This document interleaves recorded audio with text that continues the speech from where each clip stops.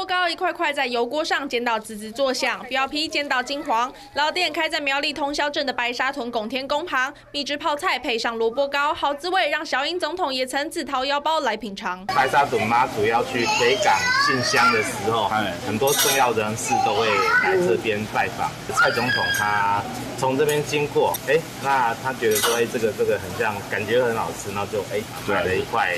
泡菜萝卜糕，营业多年的知名老店贴出公告，为了保证餐点品质，提醒八十年次以前的顾客不准喊阿姨。就是这一篇公告在网络爆红，引起民众热烈讨论。称呼有时候是让人家心情美丽的，小姐姐啊，人家也习惯叫，不然叫简单美女就好了。网友提问，到底是被叫了多少次才会气到贴出来？也有人说叫美女才不会失手，还有网友笑称这根本是威胁。通常如果是一般早餐店，通常都还是会叫阿姨。对啊，我就是礼貌问题，而且比较亲近的感觉。我也都叫阿姨。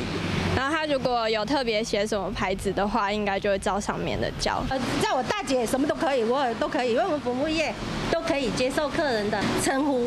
讲什么称呼，我们对我来说其实没有什没有什么差别。尽管多数店家不在意客人如何称呼，不过店家贴出公告，贴心提醒该怎么称呼，就像在考验消费者有没有尴尬又不失礼貌的幽默。三立新闻市议会黄梦珍、陈炳豪苗栗采访报道。